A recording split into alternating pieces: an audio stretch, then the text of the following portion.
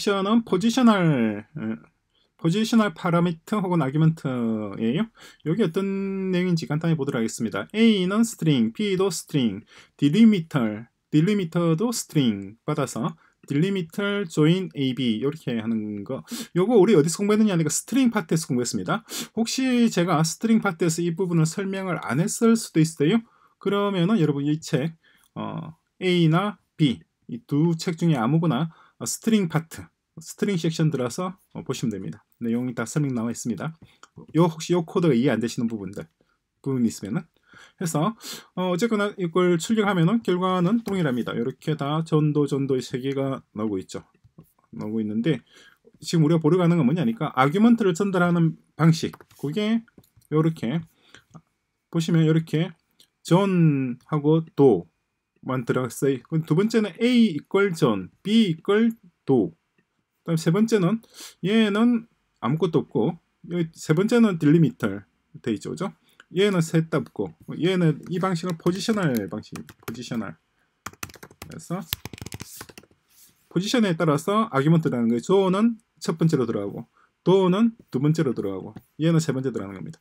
얘는 키워드 방식이에요. 키워드 방식이니까 키워드 말 그대로 키워드를 쓰는 겁니다. A가 무엇인지 조언이 어디 들어갈지를 미리 지정하는 겁니다. 정확히 A는 A잖아요. 여기 들어가란 말입니다. 얘도 B 지정하는 거죠. 얘는 하이브리드죠. 하이브리드 두 가지 방식. 이걸 이꼴 기호가 있느냐 없느냐 이 차이점이에요. 자, 요거는 뭐 그렇게 뭐 어려운 주제가 아니고 단순한 내용입니다. 그리고 4번과 5번, 6번.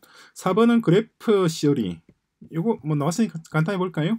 topological order돼 있는데 요 그래프 DAG라 그러죠.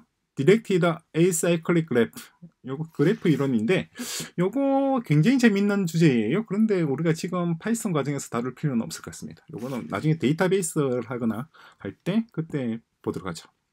그리고 5번은 모듈 6번은 음, 어, 개발 환경 뭐 5번과 6번도 딱히 언급할 건 없어요 7번을 보죠 7번에 어, Fizz Buzz입니다 Fizz Buzz pattern matching이죠 pattern matching인데 어, 3으로 나눠서 떨어지고 5로도 나눠서 떨어지게 되면은 요걸 return하고 이 경우에는 이걸 하고 이 경우는 이걸 하고 이렇게 하란 말이에요. 그리고 피즈부즈에 30을 넣거나 혹은 뭐 여러 개 넣을 수 있겠죠. 뭐 31도 넣을 수 있고 32도 넣을 수 있고 33, 34 이런 식으로 해서 실행시켜 볼까요?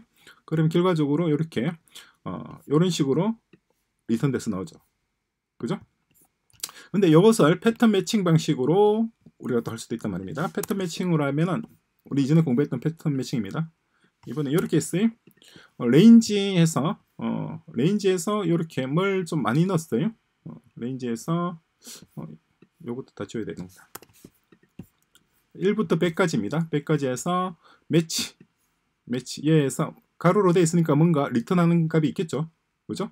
match에서 어, 상당히 재미있습니다. i 그래서 i를 이렇게 어, expression입니다. 지금 이게 expression이니까 뭔가 값을 return을 해야 돼요. 그래서 얘가 어, 3으로 나눴을 때 어떤 값이 나올 거 아니에요. 그리고 얘도 나머지를 말하는 겁니다. 나머지 i로 나눴을 때 5로 나눴을 때 뭔가 값이 있겠죠. 그래서 tuple이 return된단 말이에요. 그렇죠? 이게 match입니다. 상당히 재밌게 잘 만들어뒀는데 그래서 이게 요 모양이면은 이렇게 하고 요 모양이면은 이렇게 하고 그죠? 둘 다 제로이면은 이렇게 하나는 제로인데 다른 하나는 뭔지는 몰라도 어, 이 경우에는 이렇게 하고 이 경우는 이렇게 하고 그외 모든 경우는 이렇게 하란 말이에요. 어떤 의미인지 이해가 되시나요? 어, 여기에 그러면 제로는 포함될까요? 안 될까요? 여기에 혹은 여기에 제로 포함될까요? 안 될까요? 여기는 다 포함됩니다. 다 포함되죠. 그러면은 제로 제로인 경우 얘도 제로이고 얘도 제로인 경우 그런 경우는 어떻게 되느냐? 그럼 그 경우 얘도 되고 얘도 되느냐? 그게 아니에요. 먼저 먼저 먼저 만나서 조건을 만족하는 것에서 끝나버립니다. 어떤 민지가 되시죠? 그러니까 제로 제로는 여기까지 안 내려온단 말이에요. 절대로. 여기서 딱 걸리는 겁니다. 그죠? 여기도 마찬가지예요. 여기도 앞에 제로이고 뒤에가 뭐 뭐 뭐 뭐 제로 뭐 다른 숫자인 경우에는 위에서 딱 걸리고 그 다음에 이스 내려오는 거예요. 순서가 중요합니다. 얘 순서 순서 땅땅 내려오는 거예요.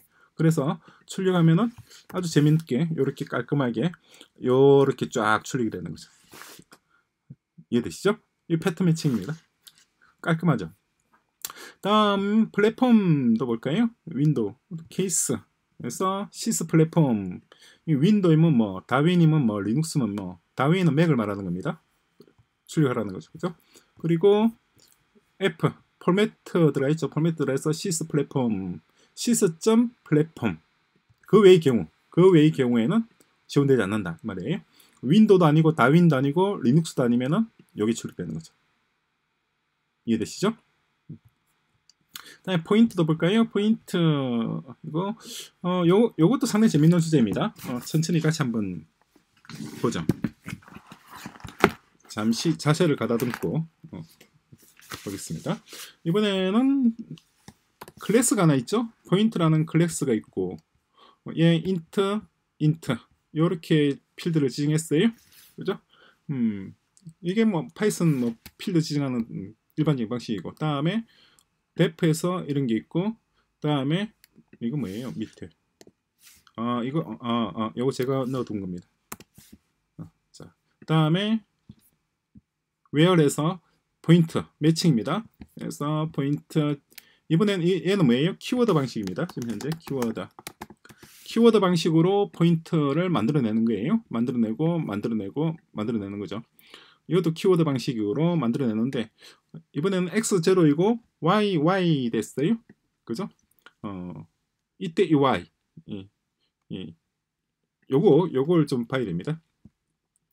어, 포인트를 하나 만들어서 보내야겠죠. 그래서 밑에 where is point 요렇게도 만들고 요렇게도 만들고 요렇게도 만드는 겁니다. 만들어진 게 instance잖아요. instance를 만들어서 instance를 만들어서 여기다 패턴에다 집어넣는 거죠. 걸려서 여기에 걸리는지 여기에 걸리는지 보는 겁니다. 걸려서 먼저 걸리는 것에 출력이 됩니다. 그죠? 제일 마지막에 아무것도 안 걸리면은 마지막에 여기서 걸리게 돼 있어요. 얘는 무조건 다 걸리는 겁니다. 이걸 exhaustive라고 표현해요. exhaustive. 그러니까 어, 모든 가능한 경우의 수, 그죠? 경우의 경우의 수 모든 것을 다 포괄할 수 있게끔 요걸 집어넣는 겁니다.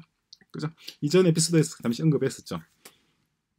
그런데 우리가 재밌게 볼 수 있는 부분은 이 뭐예요? 이 클래스도 조금 전에 봤던 어, 캣이라든가 이런 것과 완전히 구조가 동일하죠. 보시면 요 캣에 이런 뭐라고 되나 이런 구조 첫 번째 잘 나와 있네. 여기 보시면은 요 cat이란 function을 호출할 때 A는 존, B는 도 이런 식으로 해서 우리 지금 호출하고 있잖아요. 그죠? 똑같은 방식으로 어, 포인트도 보시면은 이렇게 포인트라고 하는 클래스의 instance를 만들 때 x는 0, y는 0 모양이 서로 비슷하죠. 이 비슷한 것은 우연히 그런 것이 아니라 클래스 자체가 펑션이기 때문에 그래요. 지난 에피소드에서 제가 한번 말씀을 드렸던 것 같은데 어, 클래스 클래스 is just a function입니다. a class라 어, just the function이고 그리고 모든 펑션은 어, 모든 건 아닙니다만 펑션은 return value를 가질 수가 있죠, 그죠? 그러니까 the return value, return value of a class is its instance예요. instance가 return value입니다. 어떤 의미인지 이해가 되시죠? 그래서 어, 클래스를 뭐 특별히 다른 function들과 구분을 할 필요는 없어요. 그냥 클래스는 function의 하나입니다. 근데 왜 이름을 클래스라고 별도로 이름을 붙였을까요? 음, 왜 다른 펑션들과 구분을 하고 있을까요? 어, 그거는 어, 여러 가지 이유가 있을 것 같긴 해요. 그리고 아규먼트도 마찬가지. 아규먼트. 아규먼트와 파라미터의 차이점 말씀을 드렸었죠. x 이퀄 1 하면은 이때 x는 파라미터이고 1은 아규먼트입니다. 그죠? 그러니까 어, variable name variable name은 parameter parameter라고 얘기를 하고. 그리고 value는 얘는 argument라고 표현해요. 근데 두 개를 그냥 섞어서 쓰기도 합니다. x 이퀄 1하면 x가 파라미터가 되고 1은 argument예요. 그래서 뭐 def function, my function 뭐 해서 여기에 parameter 이렇게 들어있잖아요. para parameter 이렇게 표현하고 다음에 뭐뭐 뭐 되죠. 내가 나중에 이 펑션을 호출한단 말이에요. 호출하면서 파라미터로서 숫자 1을 줬단 말이죠.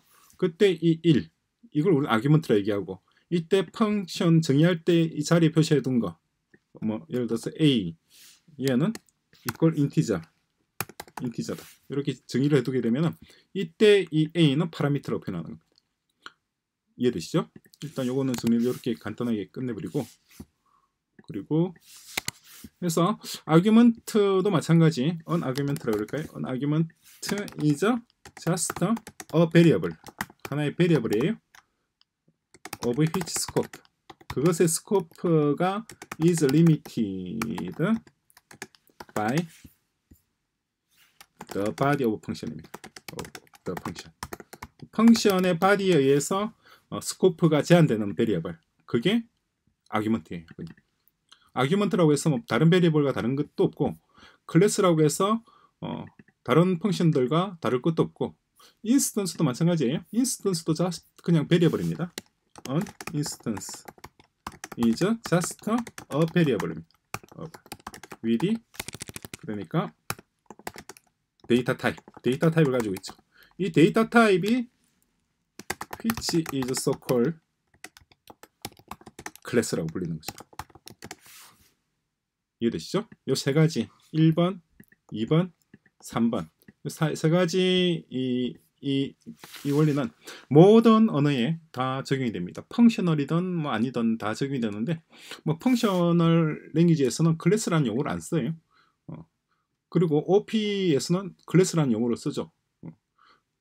그런데 가만히 보면 펑셔널이나 OP나 기본 구조는 크게 다르진 않아요. 단지 코딩하는 펫 스타일이 좀 다르죠. 어, 그 중국식 음식이나 한국식 음식이나 뭐 먹는 거는 똑같은데 조리하는 방식이나 어, 모양이 조금씩 다르죠. 그죠?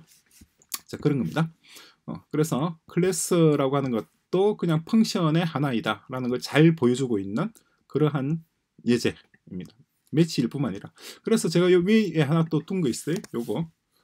근데 패턴 matching에서 그러면은 우리가 전달하는 이 포인트 값으로서 지금 밑에서 뭘 전달하고 있나요? 얘를 전달했잖아요. 그죠? 얘 얘를 전달했는데 이렇게 하면 뭔가 만들어지겠죠? instance가 만들어지죠? 그 instance가 얘와 같은 것이냐? 라고 물어보는 겁니다. 그런데 그거는 아니에요. 무슨 말이냐니까 제가 포인트 이런 걸 하나 instance 하나 만들었습니다. 그리고 또 이렇게 instance를 만들었습니다. 얘 두 개가 같으냐? 라고 프린트 해보면 어떻게 나올까요? 프린트하면 그러면은 요렇게 false에 false 다릅니다. 그러니까 패턴 matching은 두 개의 object가 같다 다르다를 같은 object냐 같은 instance냐를 따지는 게 아니에요. 형태, 패턴이 같은지를 보는 겁니다. 이해되시나요? 그러니까 우리가 전달하는 이, 이 instance, 얘 instance 있잖아요.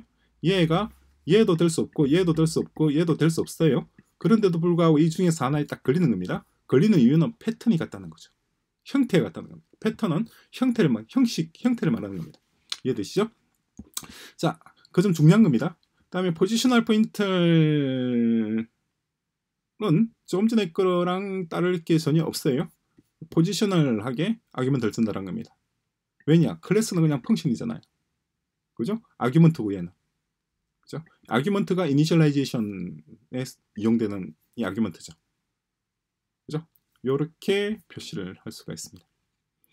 그러니까 요 모양과 요 모양과 조금 전에 봤던 요 모양을 한번 비교를 해서 어, 비교를 해서 뭘 하라고 제가 말씀을 드려야 되는데 뭘 하라고 말씀을 드릴지 모르겠어요. 그냥 비교해 보시기 바랍니다. 자 이렇게 해서 어, 3장은 대충 이렇게 정리를 하죠. 어, 재밌었나요? 다음에 4장 이어서 4장입니다. 4장의 주제는 뭐냐 하니까 4장은 음, 그럼 OOP 언어와 음, 그러니까 파이썬이죠. 파이썬과 다른 프로그래밍 언어들을 한번 비교해 보는 거예요. 상당히 재밌는 주제입니다.